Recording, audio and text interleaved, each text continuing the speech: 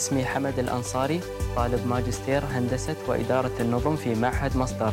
أبحث حاليا في سلوك الأشخاص ضمن المباني وذلك في محاولة للتوصل إلى سبل تمكننا من تحسين استهلاك الطاقة خلال مراحل تشغيل أو صيانة المباني. التي تستهلك نحو 80% من الطاقة المستخدمة في دورة حياة المبنى.